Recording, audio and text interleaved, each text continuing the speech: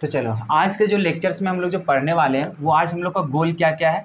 तो सबसे पहले हम लोग पढ़ेंगे भेपर प्रेशर और उसी के माध्यम से एक हम लोग को साइंटिस्ट था, जो साइंटिस्ट का नाम था रॉल्स उन्होंने हम लोग को भेपर प्रेशर के अनुसार कुछ कुछ नियम दिया था तो वही सब हम लोग उसके लॉ को हम लोग यहाँ पे जानेंगे। तो सबसे पहले जो हम लोग का मकसद है, वो हम लोग को भेपर प्रेशर को समझना है, क्योंकि अभी से जो हम लोग चैप्टर शुरू करने जा रहे हैं तो हम लोग को सबसे पहले तो पता होगा कि जैसे हम लोग चैप्टर को क्लासीफाई किए थे, सबसे पहले तो हम लोग देखे थे types of solution types of solution देखने के बाद जो सेकेंड में देखे तो वहाँ पे देखे हम लोग कंसनट्रेशन टर्म्स कंसनट्रेशन टर्म्स यहाँ तक जो कहानी था, ये दोनों टॉपिक्स हम लोग को क्या था तो क्लास एलेवेंथ का ही टॉपिक था. उसके बाद अभी से जो शुरू करने जा रहे हैं, जो हम लोग को हो गया भेपर प्रेशर इतना पढ़ने के बाद हम लोग पढ़ेंगे कॉलिगेटिव प्रॉपर्टीज़ तो यहाँ से जो भी हम लोग को सिलेबस स्टार्ट होगा, वो बोलो तो एक्चुअल हम लोग को ट्वेल्थ क्लास का सिलेबस स्टार्ट होगा, जो कि हम लोग को यहाँ पे पूरा नया नया चीज़ को जानना है. तो हम लोग को जो अभी जानेंगे, वो पढ़ेंगे भेपर प्रेशर क्योंकि जितना भी अभी टॉपिक हम लोग पढ़ेंगे आगे चल के वो सारे टर्म्स में हम लोग को किसका यूज़ होगा? भेपर प्रेशर का कंसेप्ट हम लोग को यूज़ होगा। तो वेपर प्रेशर को बहुत ही अच्छा तरीके से फिल कर लेना पड़ेगा, तभी आगे का कंसेप्ट हम लोग अच्छा तरीके से टच कर पाएँगे। तो चलो, हम लोग को मकसद आज क्या है हम लोग को? भेपर प्रेशर भेपर प्रेशर आखिर होता क्या है? उसके बाद हम लोग जाएँगे Raoult's law of vapour pressure में। तो ये था आज का हम लोग को कहानी कि क्या क्या हम लोग आज देखने वाले हैं। अब देखते हैं हम लोग भेपर प्रेशर आखिर होता क्या है, ठीक है? सबसे पहले अभी एक कंटेनर बनाते हैं, ठीक है? उसे के माध्यम से हम लोग क्या करेंगे? सारा कुछ हम लोग समझ पाएँगे। चलो। इसमें कोई भी हम लोग क्या कर रहे हैं? लिक्विड को यहाँ पे हम डाल रहे हैं। सबसे पहले अभी दो वर्ड के बारे में भी समझ लो। एक वर्ड आएगा हम लोग को वोलाटाइल और दूसरा वर्ड हम लोग को यूज़ होगा नॉन वोलाटाइल अब ये दोनों मीनिंग का मतलब आज के बाद समझ लेना। यहाँ पे देखो वोलेटाइल कहने का मतलब है कि वैसा लिक्विड या फिर वैसा सब्सटेंस जो क्या होता है हम लोग को वेपर में क्या होगा? कन्वर्ट होगा। वेपर में कहने का मतलब वाष्प में बदलाव होगा। जैसे कि मान के चलो इसमें पानी डाला हुआ है, ठीक है? पानी को हीट करेंगे तो ये क्या होगा हम लोग को? वाष्प में बदलेगा। लेकिन वही मान के चलो यहाँ पे नमक अगर रख दिया जाए, क्या चीज़ रखा जाए? नमक वगैरह। तो नमक कभी हम लोग को ट्रांसफ़र होगा क्या? नहीं होगा। तो वो सब हम लोग को क्या होता है? नन वोलेटाइल होता है। और इन लोग क्या होता है? वोलेटाइल होता है। तो यहाँ पे वोलेटाइल किसको बोलेंगे? जिसका हम लोग को क्या बने? भेपर बने। क्या बोलेंगे? जिसका हम लोग को भेपर बनेगा, वैसा सब्सटेंस जिसका भेपर बनता हो तो वैसे सब्सटेंस को क्या बोलते हैं? वोलाटाइल बोलते हैं। और जिसमें हम लोग को भेपर ना बनता हो तो उसको हम लोग क्या बोलते हैं? नन वोलाटाइल बोलते हैं, ठीक है? तो यहाँ पे हम लोग बात करेंगे कि भेपर हम लोग को बनेगा क्या? भेपर नहीं बनेगा, ठीक है? तो वैसे का हम लोग क्या बोलेंगे? नन वोलाटाइल बोलेंगे। तो ये दो वर्ड का यूज़ हम लोग बार बार करेंगे तो वहाँ पे घबराना नहीं कि वोलाटाइल किसको बोल रहे हैं? नन वोलाटाइल किसको बोल रहे हैं? अभी सबसे पहले यहाँ पे जो हम लोग बात करने जा रहे हैं, वो वोलेटाइल को लेकर के ही चल रहे हैं। क्या चीज़ बात करने जा रहे हैं? वोलेटाइल अब वोलेटाइल कहने का मतलब वैसा सब्सटेंस लेंगे जिसका भेपर बनेगा। अब यहाँ पे मान के चलो हम लोग क्या चीज़ डाल रहे हैं? लिक्विड रखे हुए। हैं क्या चीज़ रखे हुए इस कंटेनर में? लिक्विड डाले हुए हैं। अब ये लिक्विड जो है, वो हम लोग को वोलेटाइल नेचर का है। मतलब इसका क्या बनेगा? वाष्प बनेगा, ठीक है? अभी मान के चलो यहाँ पे हम लोग क्या कर रहे हैं? हीट वगैरह हम लोग क्या चीज़ कर रहे हैं? देना स्टार्ट कर रहे हैं, ठीक है? अब तुम लोग जान रहे हैं कि यहाँ पे जैसे हम लोग यहाँ पे हीट देंगे तो हम लोग को क्या होगा? ये धीरे धीरे धीरे धीरे हम लोग को क्या होगा? इसका भेपर बनना स्टार्ट होगा। अब भेपर बनना स्टार्ट होगा तो तुम लोग को इतना तो समझ में आ जाएगा कि जो यहाँ पे भेपर बनेगा, वो किसके द्वारा बनेगा? जो लिक्विड के ऊपर वाला सतह में जितने भी मोलिक्यूल्स होते हैं, यही मोलिक्यूल्स क्या करते हैं? ऊपर हम लोग को ट्रांसफ़र होते हैं और वहाँ पे क्या बनते हैं? हम लोग को भेपर बनते हैं। ऐसा नहीं कि नीचे वाला जाकर के भेपर बनेगा। पहले कौन वाला जाकर करेगा? ऊपर वाला, उसके बाद फिर ऊपर जाएगा, फिर वहाँ से क्या होता है? हम लोग को भेपर में ट्रांसफ़र होता है। तो यहाँ पे जितने भी, अगर वोलेटाइल नेचर का अगर हम लोग को लिक्विड है तो यहाँ पे जितने भी मोलिक्यूल्स दिखाई दे रहे हैं, उतना सभी क्या करेगा? यहाँ पे हम लोग को भेपर बनाएगा। तो यहाँ पे देख रहे हैं कितना मोलिक्यूल है? एक, दो, तीन, चार, पाँच छः सात, आठ मोलिक्यूल है। तो यहाँ पर भी तुम्हारा क्या बनेगा? आठ मोलिक्यूल बनेगा। दो, तीन, चार, पाँच छ सात, आठ। समझ में आ रहा? और इसी को हम लोग क्या बोलते हैं? भेपर बोलते हैं। इसको क्या बोलते हैं हम लोग? भेपर क्या क्लियर है? तो यहाँ पे इसी तरह से और फिर नीचे वाला ऊपर जाएगा, फिर बनेगा, फिर नीचे वाला ऊपर जाएगा, फिर बनेगा। तो इस तरह से हम लोग को क्या होगा? धीरे धीरे यहाँ पे भेपर क्या होने लगेगा? बनने लगेगा। यहाँ पे नीचे हम लोग को क्या है? लिक्विड है। ये हम लोग को क्या है? कोई भी हम लोग को लिक्विड ले लिए। यहाँ पे हम लोग को क्या है लिक्विड है लिक्विड में हम लोग को किसी तरह का कोई भी मिक्स नहीं किए हैं मिक्स करेंगे बाद में अभी सिर्फ़ यहाँ पे क्या है प्योर फॉर्म में क्या हम लोग को प्योर फॉर्म में तो यहाँ पे डायरेक्टली बोल देते हैं ये जो हम लोग को है वो क्या हम लोग को प्योर लिक्विड मतलब कि मान के चलो ना अभी एग्ज़ाम्पल में कि यहाँ पे हम लोग क्या लेकर के चल रहे हैं वाटर लेकर के चल रहे ठीक है अब यहाँ पे हम लोग वाटर रखें उसमें हम लोग हीट देंगे हीट देने के बाद ये क्या होगा हम लोग को वाष्प में बदलेगा अब यहाँ पे जो कंटेनर है कंटेनर हम लोग को कैसा है क्लोज है कैसा हम लोग को है क्लोज कंटेनर है देख रहे हैं यहाँ पे बीच में अगर इस तरह से लाइन खिंचा हुआ रहेगा, इसका मतलब समझ जाना वहाँ पे क्या हम लोग को क्लोज है। अब हम लोग जो वैसे भी जानते हैं, खाना वगैरह बनाते हैं तो वहाँ पे हम लोग को क्या समझ में आता है? अगर किसी बर्तन के ऊपर अगर कोई हम लोग बर्तन रख देते हैं, प्लेट वगैरह या फिर किसी तरह से हम लोग रख देते हैं तो पता चलता है कि यहाँ जो भेपर बनता है, भेपर बनने के बाद क्या ये बाहर निकल जाता है? नहीं निकलेगा। वहाँ पर क्या होगा, ये भेपर ऊपर जा करके थोड़ा सा के लिए वेट करेगा और ये तुरंत कंडेंस होने के बाद फिर किसमें कन्वर्ट हो जाएगा? पानी में कन्वर्ट हो जाएगा। हम लोग यहाँ पर जानते हैं कि ये जो वाटर है वाटर ऊपर जाएगा, यहाँ पर हम लोग को क्या बनेगा? भेपर बनेगा। भेपर बनने के बाद, क्योंकि यहाँ पे झपना लगा हुआ है तो यहाँ पे हम लोग को क्या रहेगा? यहाँ पे जाने के बाद वो भेपर के रूप में तो रहेगा, फिर ये ठंडा होगा, ठंडा होने के बाद वो क्या हो जाएगा हम लोग को? फिर वाटर बन जाएगा। मतलब ये प्रोसेस हम लोग को क्या होगा? रेगुलर चलते रहेगा, नीचे से ऊपर जाएगा, ऊपर से नीचे जाएगा। इतना हम लोग को समझ में आ गया? तो हम लोग को अभी तक इतना समझ में आया कि वाटर से हम लोग को किसमें बदलेगा? भेपर में। फिर भेपर से किसमें कन्वर्ट होगा? लिक्विड में होगा। इतना तो समझ में आ गया। अब तुम लोग को एक चीज़ फिर से बताते हैं कि मान के चलो, किसी चीज़ में, मान के चलो यहाँ पे तुम खड़ा हो, ठीक है? अब ऊपर से कोई पत्थर गिर जाता है तुम्हारे ऊपर तो वहाँ पे क्या लग रहा है तुम्हारे ऊपर? प्रेशर लग रहा है। क्या लग रहा है? प्रेशर लग रहा है। अरे, लगता है कि नहीं लगता? है उसी तरह से मान के चलो, ये लिक्विड से किसमें बदल रहा है? भेपर में तो भेपर फिर किसमें कन्वर्ट हो रहा है? लिक्विड में कन्वर्ट हो रहा है। तो ये भेपर के द्वारा लिक्विड में जब ये ट्रांसफ़र होता होगा तो यहाँ पे इसका सतह में क्या कुछ तरह से हम लोग को प्रेशर नहीं लगता होगा क्या? लगता होगा। तो यहाँ पे हम लोग बोलते हैं कि ये जो भेपर के द्वारा, जो लिक्विड के सरफेस पे भेपर के द्वारा, किसके द्वारा? भेपर के द्वारा। लिक्विड के सरफेस में जो प्रेशर लगता है, वही प्रेशर को हम लोग क्या बोलते हैं? भेपर प्रेशर मतलब भेपर प्रेशर का नाम ही हम लोग समझ गए। प्रेशर का प्रेशर होगा और भेपर का मतलब कि भेपर के द्वारा लगाया गया प्रेशर को हम लोग क्या बोलते हैं? भेपर प्रेशर लेकिन उसके लिए कंडीशन है।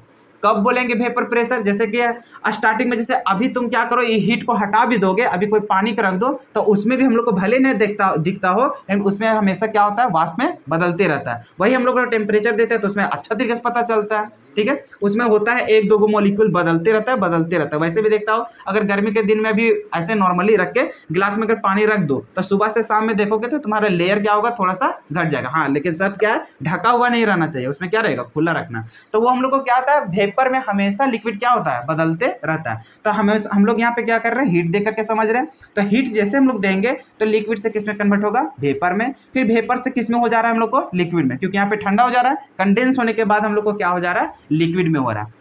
तो यहाँ पर देखो, ये प्रोसेस जब हो रहा है तो यहाँ पे सरफेस पे, जो लिक्विड का सरफेस हो रहा है, यहाँ पे भेपर के द्वारा कुछ ना कुछ तो दबाव होगा।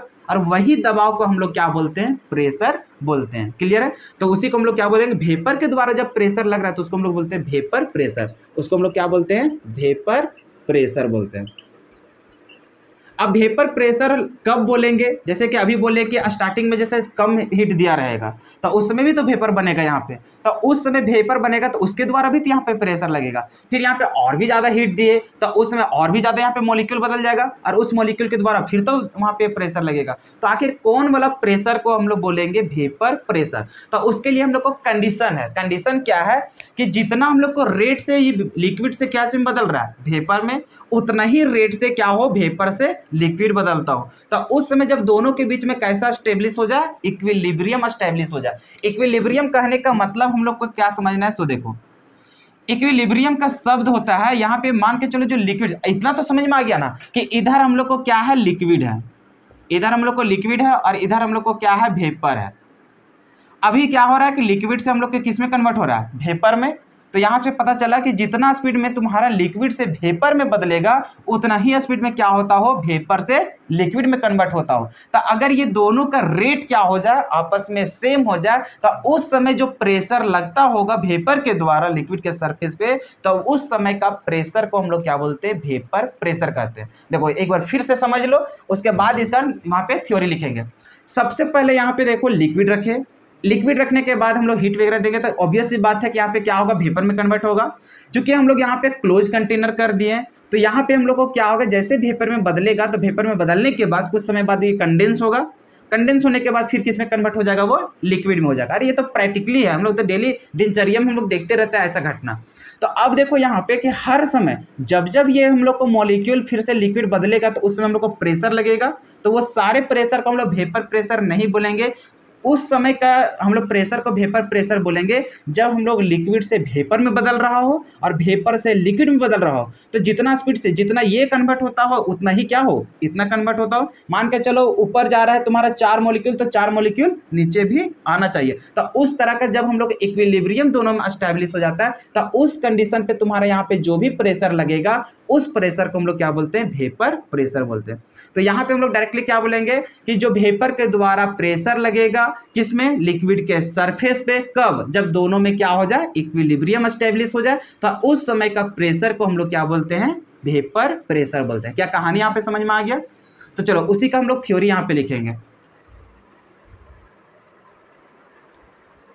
तो देखो वेपर प्रेशर का डेफिनेशन हम लोग क्या बोलेंगे?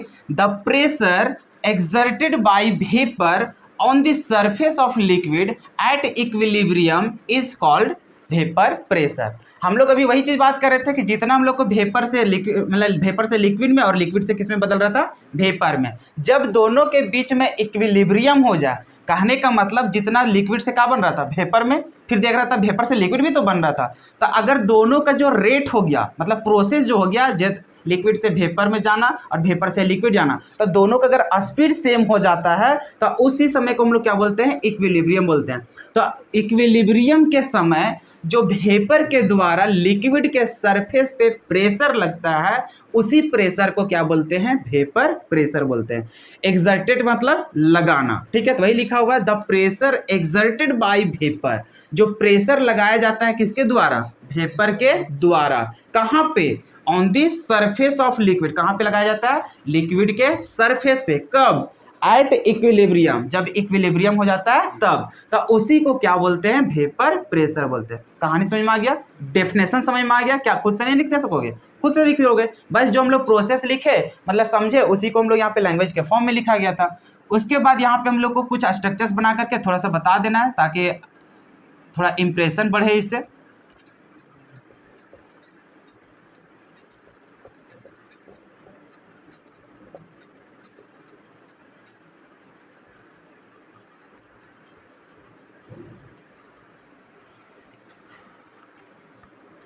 ऊपर वाला क्या बता रहा है? भेपर को बता रहा है। नीचे वाला हम लोग को किसका बता रहा है? लिक्विड को बता रहा है। अब ये दोनों के बीच में हम लोग को क्या हो जाए? इक्विलिब्रियम हो जाए तो इक्विलिब्रियम का साइन हम लोग इस तरह से देते हैं, ठीक है? तो इसका मतलब वो समझ में आ गया कि जितना लिक्विड से भेपर में बदल रहा है और भेपर से लिक्विड में बदल रहा है, वो चीज़ हो गया। और ये जो भेपर के द्वारा जो इसके सरफेस पे लग रहा है क्या चीज़? प्रेशर उसी प्रेशर को हम लोग क्या बोलते हैं? भेपर प्रेशर बोलते हैं। क्लियर है यहाँ तक? तो यहाँ पे डायरेक्टली हम लोग बोलेंगे इस जो कहा था, यहाँ पे इक्विलिब्रियम कहने का मतलब तो उसी के लिए यहाँ पे लिखा जाता है रेट ऑफ़ यहाँ पे डायरेक्टली लिख देते हैं। अच्छा चलो हाँ ठीक है। Rate of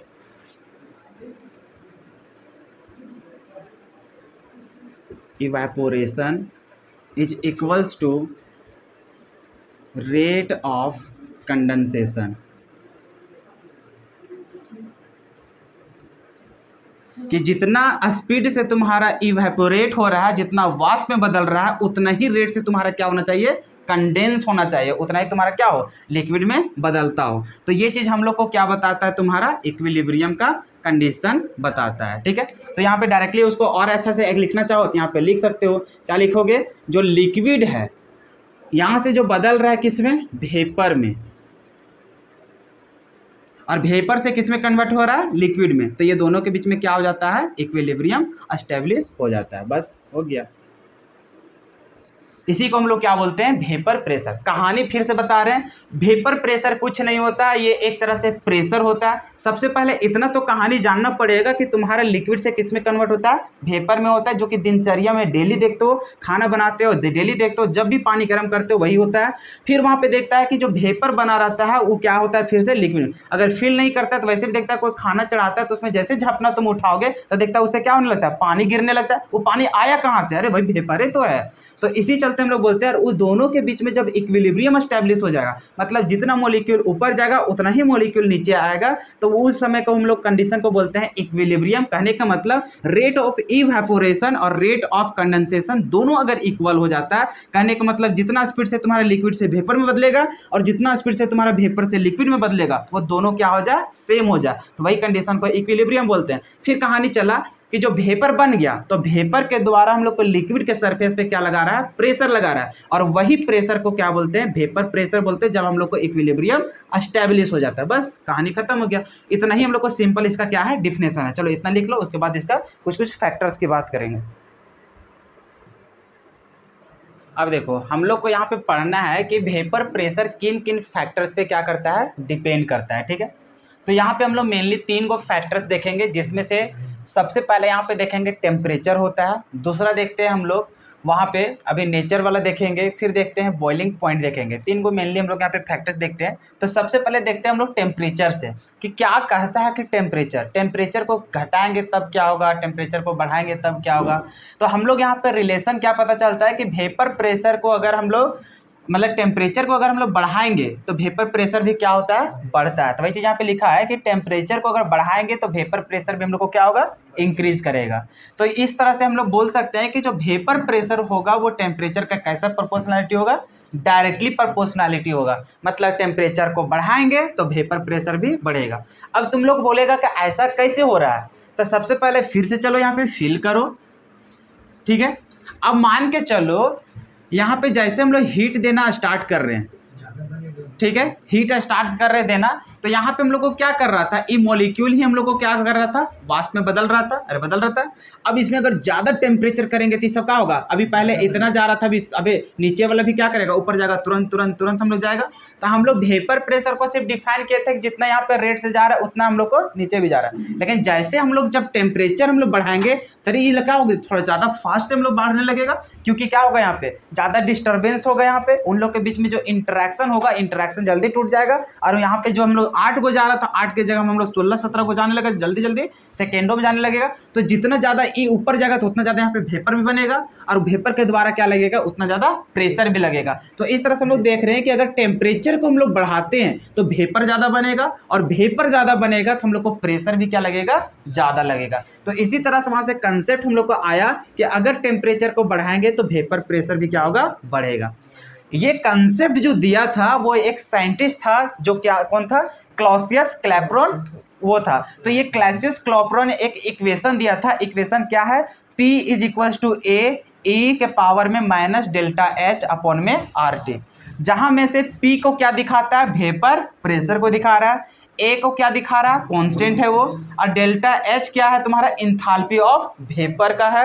अब यहाँ पे आर क्या है? तुम्हारा गैस कांस्टेंट है और टी क्या है? टेम्परेचर है। तो वो एक इक्वेशन दिया था। यही इक्वेशन के माध्यम से पता चला था कि टेम्परेचर और वेपर प्रेशर के क्या तरह हम लोग को रिलेशन देखने को मिल रहा है। तो इसी को हम लोग जब डेरिवेशन को आगे जब हम लोग प्रूव करते हैं लॉग को यूज़ करके तो वहाँ से हम लोग को इक्वेशन आता है L N P one by P two is equals to delta H नीचे आर होगा और यहाँ पे one by T two minus one by T one होता है। तो ये इक्वेशन का हम लोग ज़्यादा अभी यूज़ नहीं करेंगे। इसका पूरा प्रूफ के साथ हम लोग को पूरा एक्सप्लेनेशन जब आगे हायर स्टडीज़ करते हैं तो वहाँ पे हम लोग को ज़रूरत पड़ता है। साथ ही साथ अगर जेई और नीट ये सब का करोगे तो यहाँ से एक दो को क्वेश्चन पूछ लेता है। लेकिन अभी हम लोग इसके बारे में चर्चा नहीं करेंगे, ठीक है?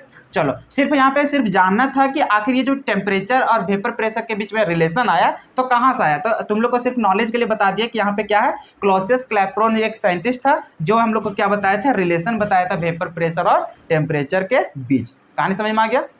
अब यहाँ पे देखो, इसके बीच में हम लोग एक ग्राफ खींचेंगे। ग्राफ को समझना, ठीक है? तो अब तुम लोग को एक चीज़ जानना पड़ेगा। देखो ई के बारे में तुम लोग जब मैथ पढ़ रहे हो तो मैथ में तुम्हें ई वाला तुम्हें दिखेगा। एक्सपोनेंशियल इसको बोलते हैं, ठीक है? तो इसका अभी लॉगरिथम ये सब जब भी पढ़ोगे, वहाँ पे यूज़ करोगे वहाँ पे कैलकुलस में तो वहाँ पे तुम लोग बहुत ज़्यादा वहाँ पे यूज़ करने वाले हो। तो यहाँ पे जब जब कोई भी इक्वेशन ई वाला आएगा, क्या चीज़ आएगा? ई वाला। तो इसको बोलते हैं एक्सपोनेंशियल और ये इसका जब जब ग्राफ बनेगा तो या तो फिर तुम्हारा इस तरह से बनेगा, अगर इंक्रीज करेगा, जैसे हम लोग दो चीज़ देखते हैं। मान के चलो यहाँ पे एक्स और वाई के बीच में देखेंगे। इधर एक्स और वाई मान के चलो कोई चीज़ हम लोग को इधर एक्स को बढ़ाएँगे तो वाई भी बढ़ेगा। तो उस तरह से जाएगा तो हम लोग ऐसे बोलते हैं। तो कैसा ग्राफ बन गया? हम लोग को स्ट्रेट बन गया। अगर उसी तरह से हम लोग दूसरा ग्राफ बनाते, घटने वाला तो हम लोग इस तरह से बोलते हैं। तो यहाँ पे कैसे हम लोग का ग्राफ बन रहा है? घट रहा है तो कैसा बन रहा है हम लोग को? डायरेक्ट सीधा बन रहा है स्ट्रेट बन रहा है। बढ़ रहा था तो कैसा बढ़ रहा था? स्ट्रेट बढ़ रहा था। लेकिन कभी भी अगर बढ़ना और घटने का बात हुआ, जैसे अभी प्रपोर्शनैलिटी देखा था, इसका मतलब क्या समझ गया? अगर अभी एगो ग्राफ हम लोग बनाएँगे ग्राफ बनाने का मतलब है, देखो इधर। अभी एगो ग्राफ बना रहे हैं, एक तरफ़ हम ले लेते हैं वेपर प्रेशर और एक तरफ़ ले लेते हैं टेम्परेचर ये दोनों के बीच में हमें ग्राफ बनाना है। अब ग्राफ बनाने जाओगे तो हमें तो इतना पता चल गया कि टेम्परेचर को बढ़ाएँगे तो क्या बढ़ेगा? वेपर प्रेशर इसका मतलब टेम्परेचर को बढ़ाते जाओ वेपर प्रेशर भी बढ़ेगा। अरे बढ़ रहा है कि नहीं बढ़ रहा है? जैसे कि इस वाला ग्राफ में देखोगे यहाँ पे तो ई हो जाएगा, यहाँ से इतना हो जाएगा। फिर यहाँ से तुम छूने जाओगे तो यहाँ पे इतना हो जाएगा, यहाँ पे देखो इस पॉइंट में था तो देखो तुम्हारा टेम्परेचर भी बढ़ रहा है वेपर प्रेशर भी बढ़ रहा है। जैसे इस पॉइंट में गया तो टेम्परेचर बढ़ा और फिर वेपर प्रेशर भी बढ़ा। तो हम लोग इस तरह से ग्राफ बनाते। लेकिन जब जब हम लोग, देखो, बनाते तो इसी तरह से, लेकिन यहाँ पे जब इसका रिलेशन देखा है रिलेशन में देख रहे हैं, यहाँ पे क्या यूज़ हो गया?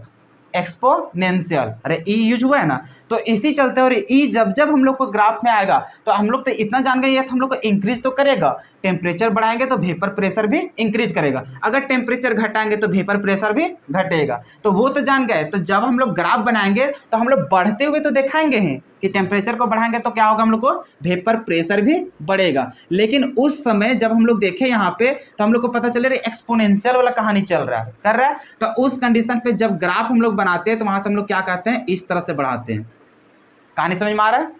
मतलब बढ़ तो रहा है, लेकिन कैसे हम लोग को बढ़ रहा है? धीरे धीरे बढ़ रहा है मतलब एक्सपोनेंशियल बढ़ रहा है, और ये स्ट्रेट लाइन और इसमें बहुत फ़र्क है। देख रहे हैं यहाँ पे? वो क्या रहा था? सीधे हम लोग को बढ़ रहा था, लेकिन एक्सपोनेंशियल वहाँ पे यूज़ होने की वजह से यहाँ पे हम लोग को ग्राफ कैसा बनता है? इस तरह से कर्व बनता है, ठीक है? तो ये हम लोग को बनेगा। चलो, इतना बना लो। तो ये ऊपर लिख लेना यहाँ पे क्या चाहिए? ग्राफ अरे तो डायरेक्टली यहाँ पे इतना लिखने के बाद, ये वाला टेम्परेचर वाला तो लिख लिया, उसी के नीचे यहाँ पे क्या करना है? इस ग्राफ को वहाँ पे दिखा देना। सिर्फ़ ऊपर लिख देना ग्राफ क्योंकि देखो ग्राफ से भी कभी कभी क्वेश्चन आएगा या फिर एक कंसेप्ट हम लोग सीखे हुए रहेंगे, तब हम लोग को बॉइलिंग पॉइंट हो गया फ्रीजिंग पॉइंट हो गया तो वो सब समझने में थोड़ा सा आसानी होगा। तो यहाँ पे लिख लेना ग्राफ और आराम से इसको क्या कर लेना, समझ लेना। कॉपी में बनाओगे तो इसको स्ट्रेट नहीं बनाना, हमेशा उसको कैसे बनाना कर्व बनाना, ठीक है? चलो, इतना लिख लो, उसके बाद फिर आगे नेक्स्ट बात करते हैं।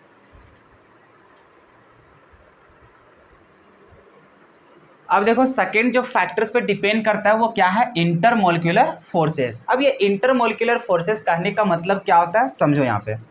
जैसे मान के चलो कंटेनर जो बना रहा है, उसमें जो तुम लिक्विड रखा है, ठीक है? यहाँ पे क्या है तुम्हारा? लिक्विड रखा हुआ।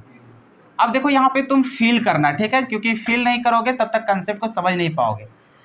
अभी देखो यहाँ पे, देखो इंटरमोलिकुलर फोर्सेस बोलो या फिर डायरेक्टली नेचर भी बोल सकता था, लेकिन नेचर में भी डिपेंड करता है तो इंटरमोलिकुलर फोर्सेस ही करता है। इसी चलते यहाँ पे इसी तरह चलते हैं हम लोग फोर्स के अकॉर्डिंग ये आखिर बोलना क्या चाहता है? इंटरमोलिकुलर फोर्सेस क्या कहना चाहता है? कहना चाहता है कि यहाँ पे देख रहा है सब तो मोलिक्यूल है। अरे जो भी वाटर रहे, चाहे कोई भी लिक्विड रहेगा, वो क्या रहेगा हम लोग को? मॉलिक्यूल रहेगा। अब तुम्हें नहीं लग रहा है कि इन लोग का मॉलिक्यूल मॉलिक्यूल के बीच में इंट्रैक्शन होगा, सो? अरे अट्रैक्शन फोर्स तो होगा ना। जैसे वाटर वाटर रहेगा हाइड्रोजन बॉन्डिंग बनेगा। अरे, बनेगा कि नहीं? तो इसी तरह से बहुत सारा यहाँ पे जो भी लिक्विड रखोगे तो आपस में मोलिक्यूल के बीच में क्या रहता है? इंट्रैक्शन होता है। तो मान के चलो ये दोनों मोलिक्यूल लिए, ठीक है? ये दोनों मोलिक्यूल के बीच में क्या है यहाँ पे? एक फोर्स से जुड़ा हुआ है मतलब आपस में एक बॉन्ड बना कर रखा होगा। अरे, तभी तो वहाँ पे पानी वगैरह है। तो वहाँ पे देखो, मान के चलो इस तरह से तुम्हारा क्या है? बॉन्ड बनाया हुआ। अभी हम लोग यहाँ पे क्या कर रहे हैं? हीट दे रहे हैं। क्या कर रहे हैं हम लोग? हीट दे रहे हैं। तो हम लोग आखिर यहाँ पे वाष्प में कब बदलता है? हम लोग एक ही चीज़ जानते हैं कि जब यहाँ पे जो भी मॉलिक्यूल रहता है लिक्विड रहे, कुछ भी रहे तो वहाँ पे हम लोग को क्या रहता है? ये दोनों के बीच में, आपस में क्या रहता है मॉलिक्यूल के बीच में? जुड़ा हुआ रहता है एक फोर्स से। अब उस फोर्स को हम लोग हीट दे करके क्या करते हैं? तोड़ते हैं। ऐसा थोड़ी है कि रख देंगे कोई भी वाटर तो अपने आप पूरा गैस में उड़ जाएगा सर पॉसिबल नहीं है। तो वहाँ पे हम लोग को क्या होगा? हीट देते हैं। अरे हीट हम लोग का काम क्या करता है? हीट जाता है यही बॉन्ड को हम लोग क्या करते हैं? तोड़ते हैं। पढ़ा था केमिकल बॉन्डिंग में डिसोसिएशन ये सब करता था। तो वहाँ पे समझ में आता था कि हीट देते हैं तो उन लोग के बीच में जो बॉन्डिंग रहता है बॉन्डिंग क्या करता है? टूटता है। जब ये दोनों आपस में फ्री नहीं होंगे तो ऊपर उड़ेंगे कैसे? समझ मारा तो यहाँ पे लिक्विड ये सब में जब रहता है ये दोनों आपस में क्या करते हैं? पकड़ के रखते हैं। जब हीट देते हैं तो ये बॉन्डिंग क्या होता है? टूटता है। अब टूटता है तब हम लोग को क्या होता है यहाँ पे? दो मोलिक्यूल आकर के वाष्प में बदलता है। इतना तो कंसेप्ट समझ में आ गया। अब तुम लोग बताओ यहाँ पे हम लोग कोई भी लिक्विड का नेचर पे डिपेंड करता है, वहाँ पे देखो कि हम लोग दो मोलिक्यूल ले लिए। जैसे मान के चलो एक वो वाला था, एक दूसरा लिक्विड ले लिया, ये चीज़, ठीक है? मान के चलो ये लिक्विड ए है और ये लिक्विड तुम्हारा बी है, ठीक है? अलग अलग लिक्विड है। अब मान के चलो इसका फोर्स हम लोग को क्या है? उसका फोर्स से स्ट्रांग है। क्या है? स्ट्रांग है। कहने का मतलब ये भी लिक्विड है। ये दोनों लिक्विड के बीच में क्या लगा हुआ है? फोर्स लगा हुआ है। इंट्रैक्शन फोर्स इसके बीच में भी क्या लगा है? इंट्रैक्शन फोर्स लगा हुआ है। अब बता इसका फोर्स जो है वो इससे क्या है? लगा हुआ ज़्यादा लगा हुआ है। ये मॉलिक्यूल भी आपस में क्या है? स्ट्रांगली जुड़े हुए हैं और ये आपस में क्या है? थोड़ा वीकली जुड़े हुए हैं। अब तुम बताओ कि ये दोनों में से ए और बी में किसका पेपर जल्दी बनेगा? इसका जल्दी बनेगा कि इसका बनेगा? बी का बनेगा? क्यों जाने हम लोग क्यों हम लोग पता कर लिए?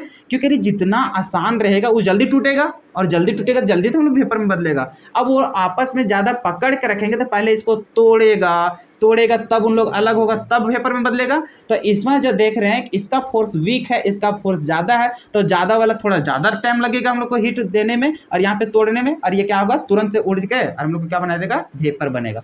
तो वही चीज़ यहाँ पे बोल रहा है, ये इंटरमोलिकुलर फोर्सेज का मतलब समझ में आ गया। जो यहाँ पे मोलिक्यूल्स होता है, वो एक दूसरे के आपस में क्या करते हैं, एक फोर्स से जुड़े हुए रहते हैं, उसी फोर्स को क्या बोलते हैं? इंटरमोलिकुलर फोर्सेस बोलते हैं। कहानी समझ में आ गया?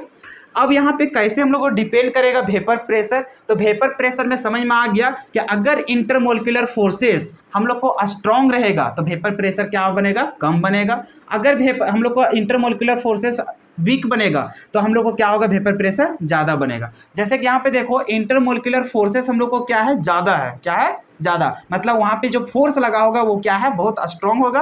तो अगर स्ट्रांग रहा वहाँ पे फोर्स तो स्केपिंग टेंडेंसी कहने का मतलब बाहर निकलने का टेंडेंसी जो तुम्हारा वाटर रहेगा तो वाटर को वाष्प में बदलना पड़ेगा। तो वाटर से वाष्प में बदलने में उसका टेंडेंसी क्या होगा? कम जाएगा। क्यों कम जाएगा? क्योंकि वहाँ पे इंटरमोलिकुलर फोर्सेस क्या है? ज़्यादा है। अगर वहाँ पे फोर्स तुम्हारा ज़्यादा लगेगा तो उन लोग को निकलने की टेंडेंसी क्या होगा? कम होगा। अगर ये निकलेगा ही कम तो उसका वेपर प्रेशर भी क्या होगा?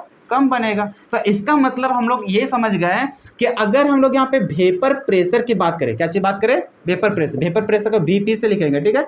तो भेपर प्रेशर और अगर हम लोग बात करते हैं इंटरमोलिकुलर फोर्सेस के बीच में तो कैसा हम लोग को प्रोपोर्शनैलिटी हो जाएगा? डायरेक्टली होगा कि हम लोग को इन्वर्सली होगा? इन्वर्सली होगा, क्योंकि हम लोग देख रहे हैं जितना स्ट्रांग बन रहा है, उतना कम वेपर बन रहा है। जितना ये कम बनेगा, उतना हम लोग ये ज़्यादा होगा। तो यहाँ पे हम लोग समझ गए कि vapour pressure is inversely proportional to किसका? इंटरमोलिकुलर फोर्सेस इंटरमोलिकुलर फोर्सेस को आई एम एफ़ से लिखेंगे, ठीक है? दिक्कत तो नहीं होना चाहिए। इंटरमोलिकुलर फोर्सेस तो यहाँ से हम लोग को रिलेशन ये समझ में आया। और क्या समझ में आया? कि अगर उन लोग के बीच में फोर्स ज़्यादा रहेगा तो वहाँ पे वेपर क्या बनेगा? कम बनेगा। क्लियर है यहाँ तक? तो ये था तुम्हारा क्या चीज़? सेकेंड पॉइंट था जो कि क्या था? इंटरमोलिकुलर फोर्सेस चलो इतना लिख लो, उसके बाद तुम्हारा लास्ट है तुम्हारा बॉइलिंग पॉइंट तो बॉइलिंग पॉइंट का देखो, सुन ही लो इतना ही, उसके बाद लिखना। क्या है सो देखो, हम लोग थर्ड में क्या है यहाँ पे? बॉइलिंग पॉइंट बॉइलिंग पॉइंट पे भी क्या करता है? वो डिपेंड करता है। जो वेपर प्रेशर है, वो बॉइलिंग पॉइंट पे भी डिपेंड करता है। ये बॉइलिंग पॉइंट क्या होता है, सो समझो। बॉइलिंग पॉइंट कुछ नहीं, एक तरह से हम लोग को टेम्परेचर होता है। क्या होता है? टेम्परेचर वह टेम्परेचर होता है जिस टेम्परेचर पे तुम्हारा कोई लिक्विड क्या होने लगे बॉयल होना स्टार्ट हो जाए तो उस समय का टेम्परेचर को हम लोग बोलते हैं बॉइलिंग पॉइंट जैसे कि मान कर चलो तुम लोग डेली जानता है, अभी तुम लोग से खुद अभी पूछेंगे ना कि बताओ वाटर का जो बॉइलिंग पॉइंट होगा वो कितना होता है? हंड्रेड डिग्री सेल्सियस देखो, ये बचपने से हम लोग क्या करके रखे हैं? रट के रखे हुए अरे, रट के रखे हुए तो इसका बॉइलिंग पॉइंट कितना आता है? हंड्रेड डिग्री सेल्सियस अब यहाँ पे बताओ कि ये जो हंड्रेड डिग्री सेल्सियस बता रहा है, ये हम लोग क्या बोल रहे हैं? बॉइलिंग पॉइंट तो अभी कहीं ना सोचने की यहाँ पे कोशिश किया, क्या कि ये बॉइलिंग पॉइंट बताता क्या है? कुछ नहीं समझ में आया था पहले. तो अब समझो कि जैसे यहाँ पे वाटर है, ठीक है? अब वाटर है तो ये हम लोग को क्या होगा? हीट यहाँ पे देना पड़ेगा? तो हीट देंगे, तब तक हम लोग हीट देंगे, जब तक कि ये हम लोग को बॉयल करना स्टार्ट ना कर दे। और जैसे ही हम लोग को बॉयल करना स्टार्ट कर दिया तो उस समय हम लोग टेम्परेचर भी तो लग रहा है। स्टार्टिंग में दिए होंगे दस डिग्री, बीस डिग्री, पच्चीस डिग्री, ऐसे करके। तब यहाँ पे जब इसको बॉयल करने लगा पानी तो पानी को बॉयल करने में जो यहाँ पे टेम्परेचर लगा टेम्परेचर हम लोग दे रहे हैं तो उस समय टेम्परेचर कितना लगा था? सौ डिग्री। सेल्सियस लगा था तो वही टेम्परेचर जो जितना टेम्परेचर लगा, इस पानी को हम लोग बॉयल करने में तो वही टेम्परेचर को क्या बोलते हैं? बॉइलिंग पॉइंट बोलते हैं। आप कहानी समझ में आया? तो ये चीज़ बाकी अभी बॉइलिंग पॉइंट का ज़्यादा हम कंसेप्ट देने वाले नहीं है। इसका एक टॉपिक आएगा क्वालिगेटिव प्रॉपर्टी जहाँ में हम लोग आएगा एलिवेशन इन बॉइलिंग पॉइंट तो वहाँ पे इसका बहुत गहराई से समझाएँगे, क्योंकि वहाँ से हम लोग को रिलेट करना है वेपर प्रेशर का। और अभी अगर इसको रिलेट करके बता देते हैं, तभी तुम बहुत कन्फ्यूज़ हो जाएगा कि वेपर प्रेशर को समझोगे कि बॉइलिंग पॉइंट को समझोगे। इसी चलते इसको सिर्फ़ अभी क्या रिलेशन होता है यहाँ पे, जो तुम्हारा वेपर प्रेशर और बॉइलिंग पॉइंट के बीच में, ये सिर्फ़ अभी सीख लो। उसके बाद इसका जो बॉइलिंग पॉइंट का कंसेप्ट होगा, वो बाद में बताएँगे। दो या तीन लेक्चर्स के बाद बताएँगे। तो अभी सिंपल खाली जानो, जो तुम्हारा वेपर प्रेशर होता है, वो भी इन्वर्सली प्रोपोर्शनल होता है। किसका? बॉइलिंग पॉइंट का। किसका होता है? बॉइलिंग पॉइंट का। कि अगर यदि बॉइलिंग पॉइंट ज़्यादा है, इसका मतलब वहाँ पे वेपर क्या हुआ होगा? कम बना होगा। अगर बॉइलिंग पॉइंट कम बनेगा तो उस समय वहाँ पे क्या रहेगा? भेपर ज़्यादा बनेगा। कहानी समझ में आ गया? चलो। अभी फ़िलहाल सिर्फ़ इतना तुम याद करके रखना इसको देखो ये दोनों तो फिल हो गया था ना कि क्या होता है तुम्हारे टेम्परेचर बढ़ाने से क्या होता है तुम्हारा यहाँ पे इंटरमोलिकुलर फोर्सेस से। तो अभी सिर्फ़ इतना जान जाओ कि ये तो बॉइलिंग पॉइंट है। अगर बॉइलिंग पॉइंट हम लोग को ज़्यादा आ गया जैसे कि मान कर चलो एक जगह तुम्हारा बॉइलिंग पॉइंट लग गया एक सौ सत्ताईस डिग्री सेल्सियस और एक जगह लग गया सौ डिग्री सेल्सियस बताओ कहाँ पे वेपर ज़्यादा बना होगा?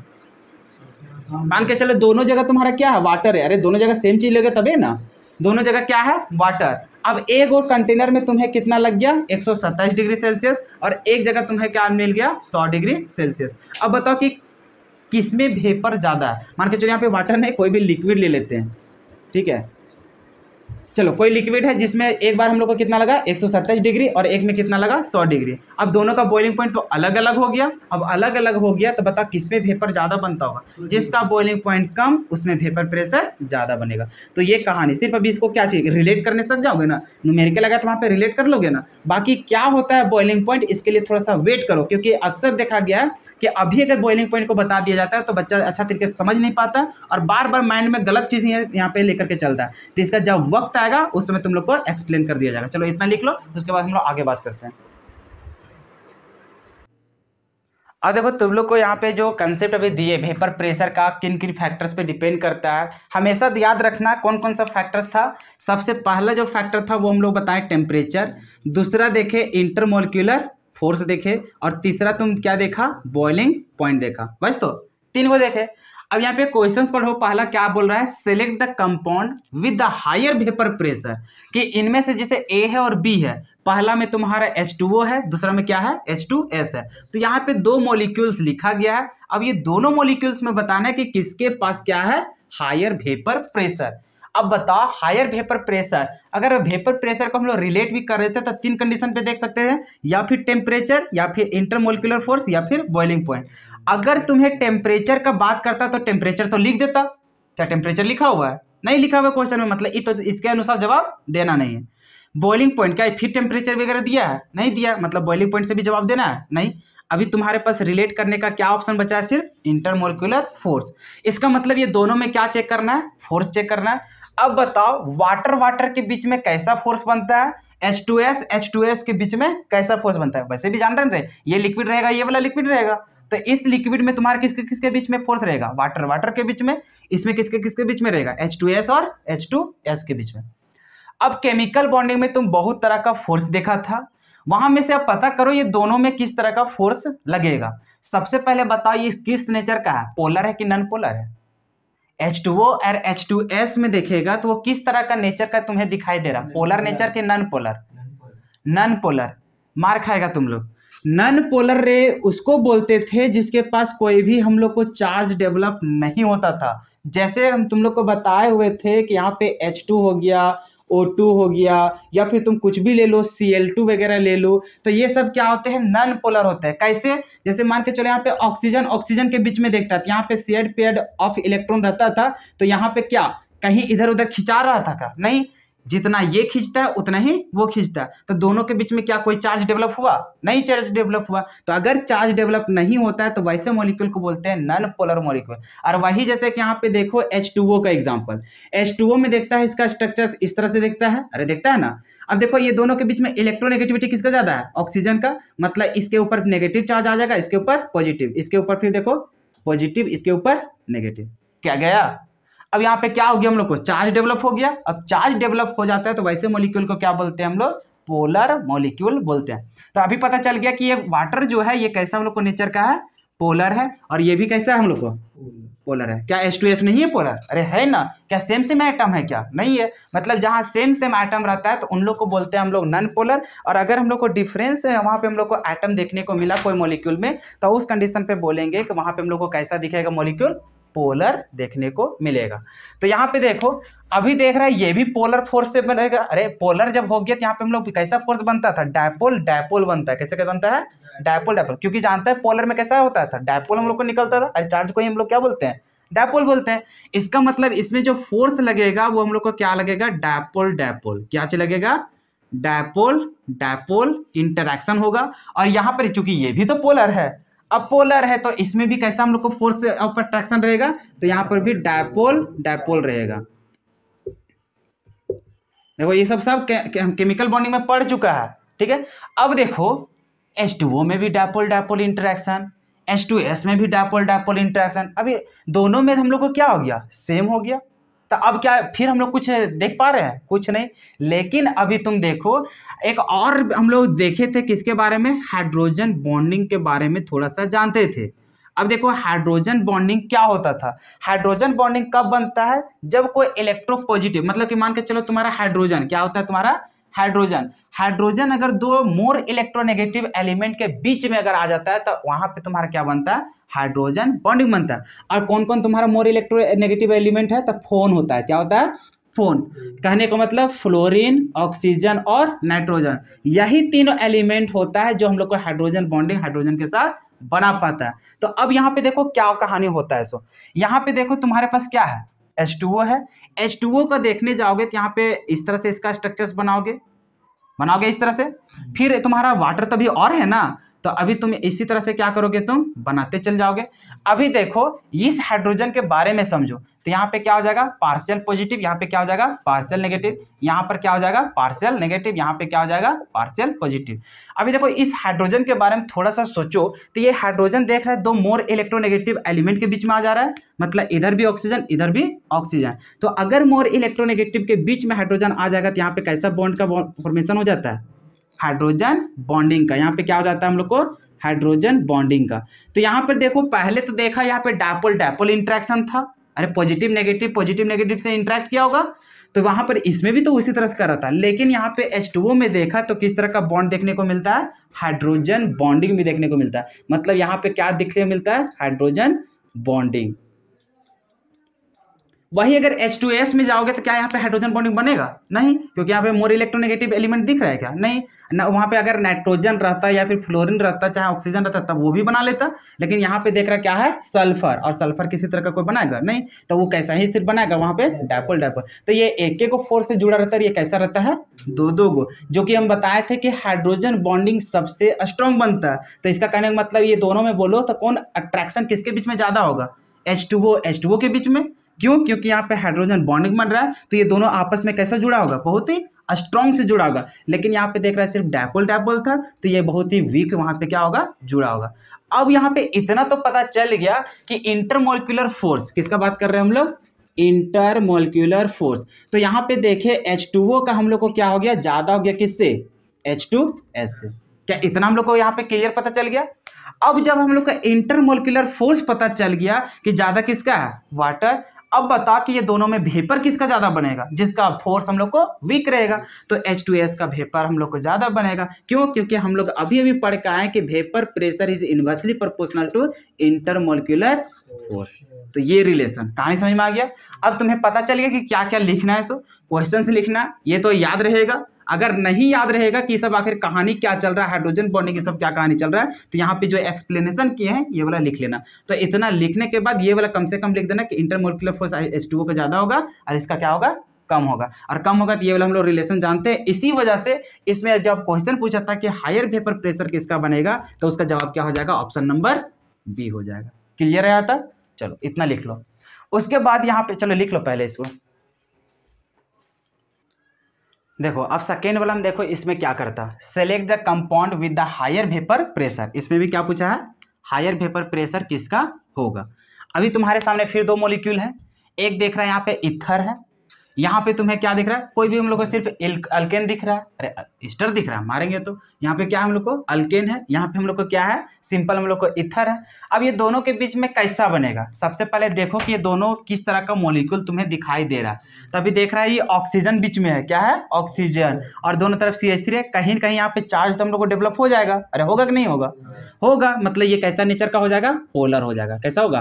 पोलर यहाँ पे देखो, कुछ होगा नहीं सभी जगह हम लोग कार्बन कार्बन ये सब देखता है। तो यहाँ पर हम लोग को कोई भी हम लोग यहाँ पे पोलर होता नहीं है। तो यहाँ पे हम लोग को कैसा हो जाता है, ये नॉन पोलर हो जाता है। ठीक है? चलो, इतना तो समझ में आ गया।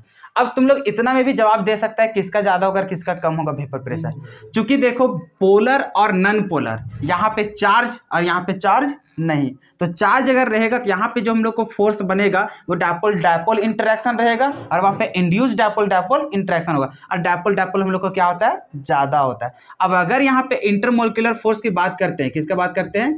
इंटरमोलिकुलर फोर्स का। तो यहाँ पे पता चला कि जो इथर है तुम्हारा सी एच थ्री वो सी एच थ्री इसका ज़्यादा है किसके? तुलना में। तो ये जो अल्केन दिया हुआ है, इसके तुलना में। अब बताओ इंटरमोलिकुलर फोर्स इसका ज़्यादा तो बता वेपर प्रेशर किसका ज़्यादा बनेगा? उसका बनेगा। तो इसका मतलब सही जवाब क्या हो जाएगा? बी हो जाएगा। कहानी समझ में आया? चलो, इतना लिख लो, फिर नेक्स्ट सवाल देते हैं। देखो, अब क्वेश्चन हम लोग को क्या है? क्वेश्चन है which factor do not affect the vapour pressure of liquid at equilibrium सबसे पहले क्वेश्चन को पढ़ो अच्छा से। क्या बोल रहा है? वेपर प्रेशर को वैसा कौन सा फैक्टर्स है जो डिपेंड नहीं करता या फिर उसको अफेक्ट नहीं करता? है पहला में लिखा हुआ इंटरमोलिकुलर फोर्स ऑफ़ अट्रैक्शन कहने का मतलब आई एम एफ़ है और फिर यहाँ पे देखो the volume of liquid present और थर्ड में है the temperature of the liquid और अभी अभी तो सिर्फ़ पढ़ के आया कि जो वेपर प्रेशर है वो तीन ही फैक्टर्स पर डिपेंड करता है एक तो देखे थे हम लोग आई एम एफ़ पे दूसरा देखे थे हम लोग टेम्परेचर पे और तीसरा हम लोग क्या देखे तो टेम्परेचर हम लोग देखे थे क्या देखे थे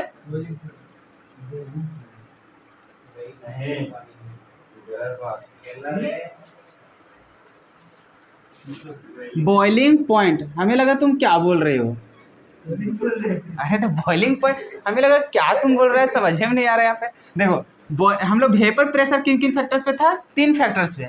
पहला था इंटरमोलिकुलर फोर्स और फिर यहाँ पे क्या था हम लोग को? टेम्परेचर और तीसरा था बॉइलिंग पॉइंट तो यहाँ पे देखा क्या लिखा है? इंटरमोलिकुलर फोर्स लिखा हुआ है। नीचे टेम्परेचर है, लेकिन कहीं भी तुम लोग को वॉल्यूम या फिर कभी भी तुम्हें सरफेस लिखा हुआ रहेगा, क्योंकि कभी कभी कन्फ्यूज़ करेगा।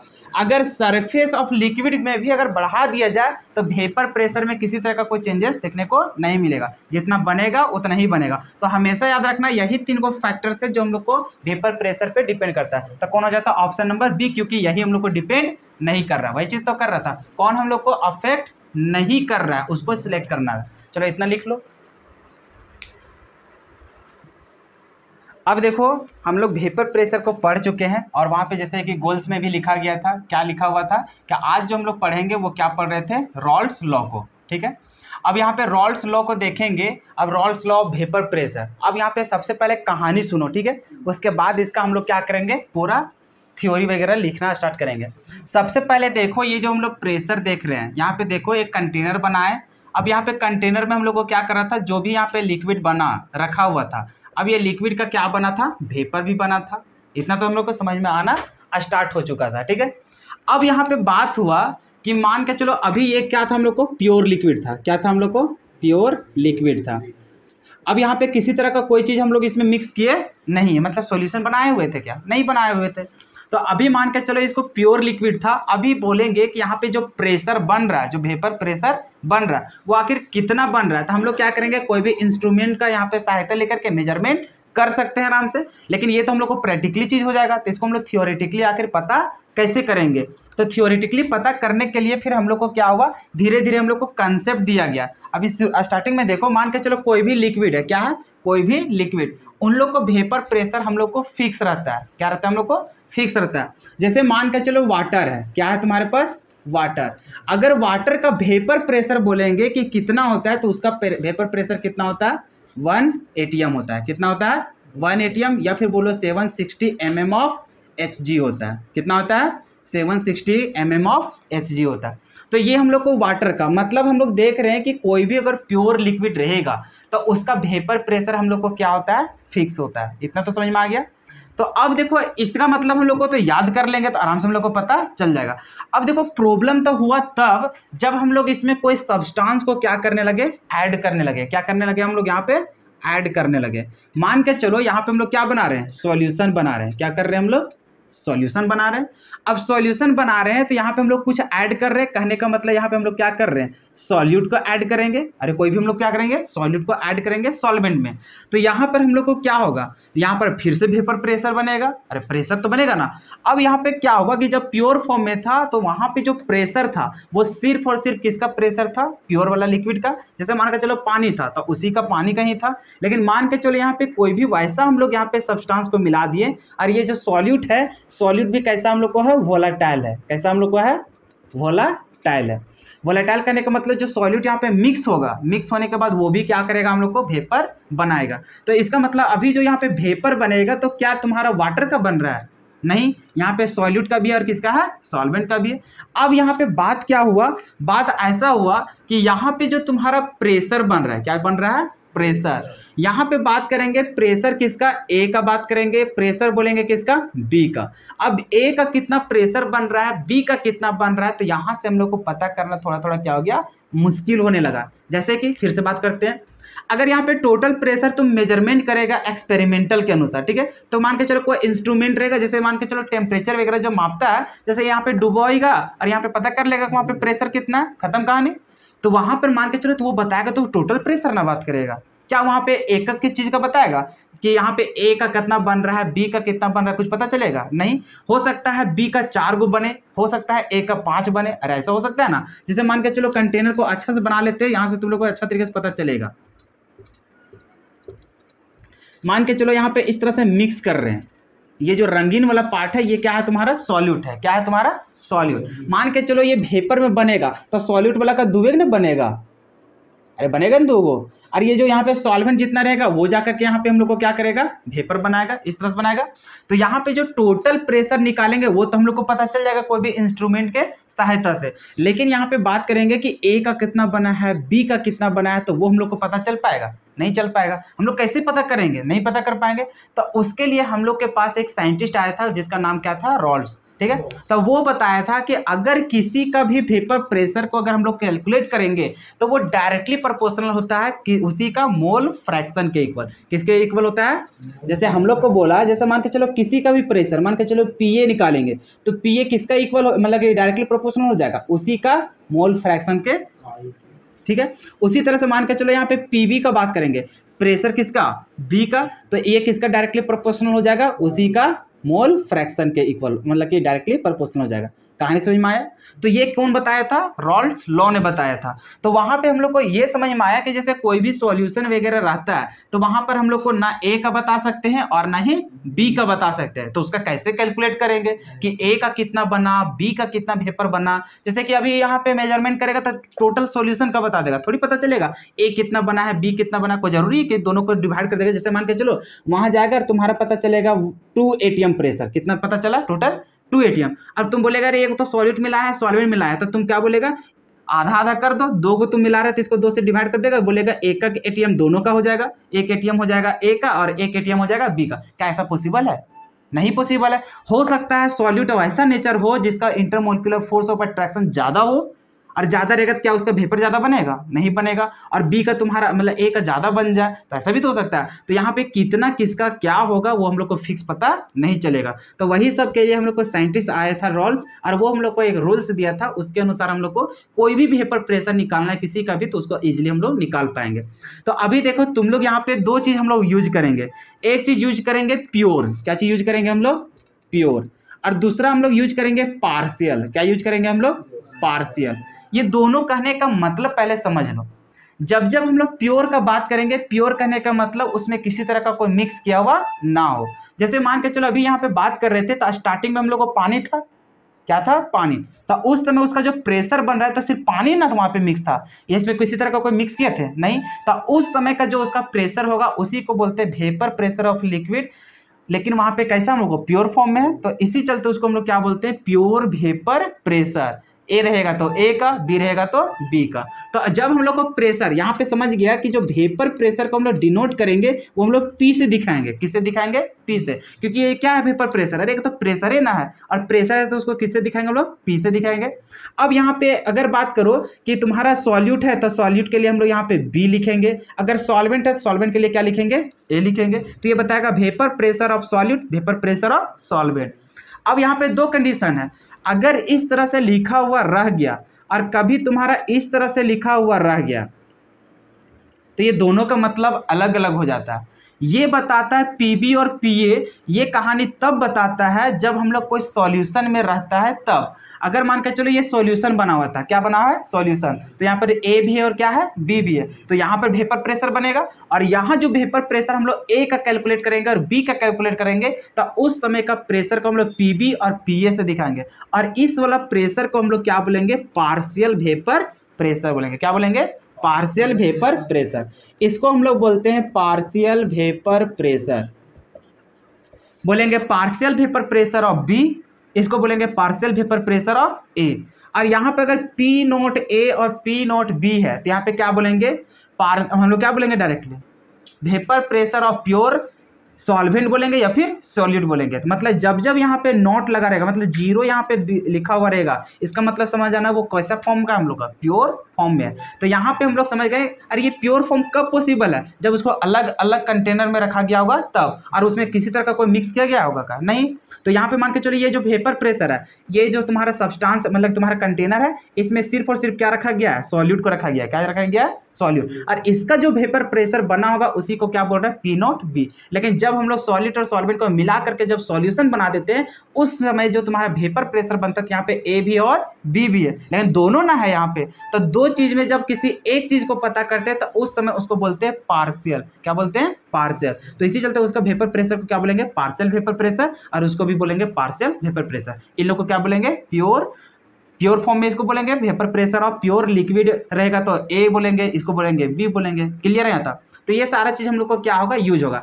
अब यहाँ पर देखो क्वेश्चंस में हम लोग को क्या रहेगा? ये जो हम लोग को प्योर फॉर्म में है, क्या है हम लोग को? प्योर फॉर्म में और अभी अभी जैसे बात किए कि वाटर का हम लोग को कितना होता है? वन एटीएम जिसको हम लोग एम में लेगा तो क्या लेते हैं? सात सौ साठ एम एम ऑफ़ एस तो ये तो प्योर फॉर्म में था। तो प्योर फॉर्म का हम लोग को क्या रहता है? फिक्स रहता है। क्या रहता है?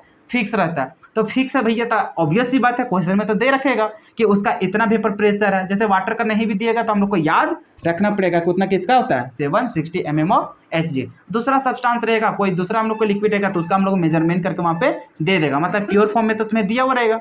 अब दिक्कत क्या है? इसका। किसका दिक्कत है? इसका पार्शियल वेपर प्रेशर जो तुम्हारा सॉल्यूशन में था ए और बी का कितना वेपर प्रेशर बन रहा है, ये चीज़ हम लोग को कैलकुलेट करना होगा। अब ये कैलकुलेट कैसे करते हैं? तो कैलकुलेट करने के लिए हम लोग के पास आया एक साइंटिस्ट जिसका नाम था क्या चीज़? रॉल्स उन्होंने एक लॉ दिया था और उन्होंने बहुत ही आसान तरीकों से सिर्फ़ हम लोग को क्या बताएँ तो वो बताएँ कि अगर किसी का भी पार्शियल वेपर प्रेशर तुम्हें निकालना है, क्या बोला था? अगर किसी का भी पार्शियल वेपर प्रेशर तुम्हें निकालना है तो जस्ट उसी का डायरेक्टली प्रोपोर्शनल हो जाता है किसका? उसका मोल फ्रैक्शन का। क्या बोला था? अगर किसी का पार्शियल वेपर प्रेशर निकालना है तो वो किसके डायरेक्टली प्रोपोर्शनल होता है? उसी का मोल फ्रैक्शन से। अगर मान के चलो यहाँ पे पीवी का बात करेंगे, तब ये किसके डायरेक्टली प्रोपोर्शनल होगा? एक्स डी का हो जाएगा। क्या कहानी समझ में आ रहा है? अब देखो यहाँ पे, बचपन से पढ़ते आ रहे हैं कि जब जब हम लोग को प्रपोर्शनैलिटी बीच में आया तो यह हटता भी है और जब जब हटा है, तब एगो क्या आता है हम लोग को? कांस्टेंट आता है। तो इसमें जब कांस्टेंट आया तो देखो वो क्या बताया। यहाँ पे जैसे यहाँ पे देखो पी नोट ए यहाँ पे क्या बात कर रहे हैं? पी ए बात कर रहे हैं। Partial vapour pressure of A ये डायरेक्टली प्रोपोर्शनल जैसे हटेगा तो यहाँ पे क्या होगा? इक्वल होगा। और यहाँ पे एक्स ए है तो यहाँ पर भी क्या आएगा? एक्स ए आएगा। लेकिन जैसे प्रोपोर्शनैलिटी हटेगा तो यहाँ पे कोई चीज़ आएगा। और वहाँ पर जो आता है, वो हम लोग को प्योर फॉर्म में उसी का वेपर प्रेशर को लिया गया कितना लिया गया उसी को प्योर फॉर्म में जो उसका वेपर प्रेशर होता है, वही होता है। क्लियर समझ में आ गया? मतलब यहाँ पे P A is equal to क्या हो जाएगा? P nought A into X A हो जाएगा। और यहाँ पे लिखना चाहेंगे तो क्या हो जाएगा? P B is equals to P nought B हो जाएगा। जो यहाँ पे लेंगे, उसी का प्योर फॉर्म में वेपर प्रेशर और उसमें मल्टीप्लाई क्या हुआ रहेगा? उसका मोल फ्रैक्शन क्या कहानी समझ में आ गया?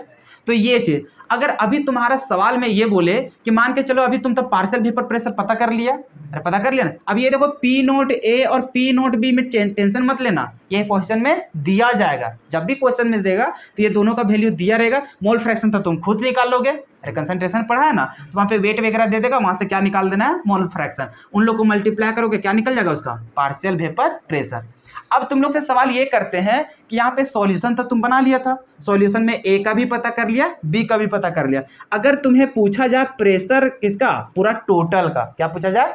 टोटल वेपर प्रेशर तब तुम क्या करोगे? तो यहाँ पे कुछ नहीं पी ए और प्लस में क्या करोगे? पी बी कि जितना ए का वेपर प्रेशर होगा और बी का जितना वेपर प्रेशर होगा दोनों का ऐड करेंगे तो क्या हो जाएगा? तुम्हारा सॉल्यूशन का वेपर प्रेशर हो जाएगा। तो अब देखो यहाँ पे क्या करोगे? इसको और एक्सपैंड करोगे। एक्सपैंड कैसे करोगे? यहाँ पे देखो ए के बदला पी ए के बदला क्या लिख सकते हो? यहाँ पे देखे हो तुम पी नोट ए और क्या लिखे हो? एक्स ए लिखे हो प्लस में पी नोट बी की जगह में क्या लिखोगे? पी नोट बी और यहाँ पे क्या लिखोगे? एक्स भी लिखोगे। अरे यही नहीं लिखोगे। कहानी समझ में आ गया? तो ये है तुम्हारा किसका फॉर्मूला पी टी का। किसका है तुम्हारा? पीटी का। कभी कभी सॉल्यूशन में, जब बात करेंगे सॉल्यूशन का वेपर प्रेशर में तो कभी कभी तुम्हारा पीटी लिखा हुआ रहेगा कभी कभी तुम्हारा क्या लिखा रहेगा? पीएस लिखा रहेगा। तभी समझ आना किसका बात कर रहा है? वेपर प्रेशर ऑफ़ सॉल्यूशन लिखा हुआ है। क्या क्लियर समझ में आ गया? बाकी इसमें इतना ही कहानी नहीं है अब इसका डेरिवेशन करेंगे, पूरा निकालेंगे, ये जो फॉर्मूला इसको एक मोल फ्रैक्शन के रूप में करेंगे, और भी यहाँ पे तुम्हारा वोलाटाइल का केस आएगा नन वोलाटाइल का केस होगा, उतना पढ़ने के बाद तुरंत हम लोग पहुँच जाएँगे relative lowering of vapour pressure जो कि तुम्हारा कोलिगेटिव प्रॉपर्टी होता है। तो कल के लेक्चर्स में हम लोग इसमें क्या करेंगे? कवर करेंगे। लेकिन अभी जो हम लोग क्या क्या पढ़ें अभी देखें हम लोग वेपर प्रेशर का कंसेप्ट ये कहानी समझ में आ गया? वेपर प्रेशर किन किन बातों पे डिपेंड करता है, ये भी समझ में आ गया। अब वेपर प्रेशर से ही तुम्हारा कौन से आया? वहाँ पे वेपर प्रेशर को हम लोग मेज़रमेंट करने के बाद आया अब इसको मेज़रमेंट करने गए तो प्योर फॉर्म में तो हम लोग को पता रहता है। लेकिन जैसे हम लोग सोल्यूशन बनाते हैं तो वहाँ पे हम लोग को वेपर प्रेशर निकालना थोड़ा सा मुश्किल हो जाता है। तो उसको सॉल्यूशन करने के लिए एक हम लोग को साइंटिस्ट आया था, जिसका नाम था रॉल्स और उन्होंने हम लोग को क्या दिया? एक लॉ दिया। और वो बताए कि अगर किसी का भी तुम वेपर प्रेशर तुम निकालना चाहते हो तो वो डायरेक्टली प्रोपोर्शनल किसका हो जाता है? उसी का मोल फ्रैक्शन का। अब यहाँ पे जैसे प्रोपोर्शनलिटी हटाएँ तो एक कॉन्स्टेंट आता है, और वो कॉन्स्टेंट कुछ नहीं, उसी का प्योर फॉर्म में जो वेपर प्रेशर होता है, उसी का इक्वल होता है। क्लियर यहाँ तक? तो यहाँ से हम लोग क्या किए? पीए और पीबी निकाल लिए, फिर उसी तरह से हम लोग टोटल वेपर प्रेशर भी कैलकुलेट कर लिए। तो हम लोग धीरे धीरे क्या करेंगे? अगला वीडियो में जो रहेगा, उसमें हम लोग पूरा कंसेप्ट को बात करेंगे। वहाँ से हम लोग बहुत सारा न्यूमेरिकल भी करेंगे, जो हम लोग को कम्पिटेटिव एग्ज़ाम जैक बोर्ड वगैरह में सारा कुछ हम लोग को पूछा हुआ रहता है। सो क्लियर है यहाँ तक? आज क्या क्या पढ़े सारा कुछ दिमाग में है। बाकी कल से हम लोग को यूज़ पड़ेगा देख रहे हैं यहाँ पे कंसंट्रेशन दिख रहा है। दिख रहा है कि नहीं दिख रहा है? मतलब मोल फ्रैक्शन। तो ये सब थोड़ा सा रिवीजन कर लेना, क्योंकि कल का न्यूमेरिकल में ये सब हम लोग को काम करेगा। तो चलो, आज का वीडियो यहीं रहने देते हैं, फिर मिलते हैं हम लोग अगले वीडियो में।